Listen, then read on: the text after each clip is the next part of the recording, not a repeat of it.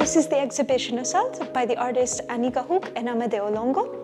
They worked together in this project to reinterpret their works that they had originally envisioned in other spaces by changing the meaning by coming together using the idea of fragment, fragmented ceremony. My personal work started actually on the research on occupation.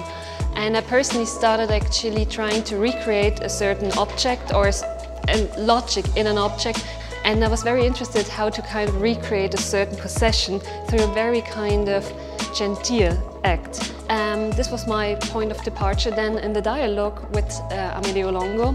We were also looking into the act of violence and I was kind of reproducing the same act and by applying actually salt water every day to this plant I'm slowly killing this precious creature. Come nel titolo della mostra cerca eh, cercavo di rappresentare questa sorta di dual dualismo tra un'arma da fuoco, anche un'arma un, bianca come una spada.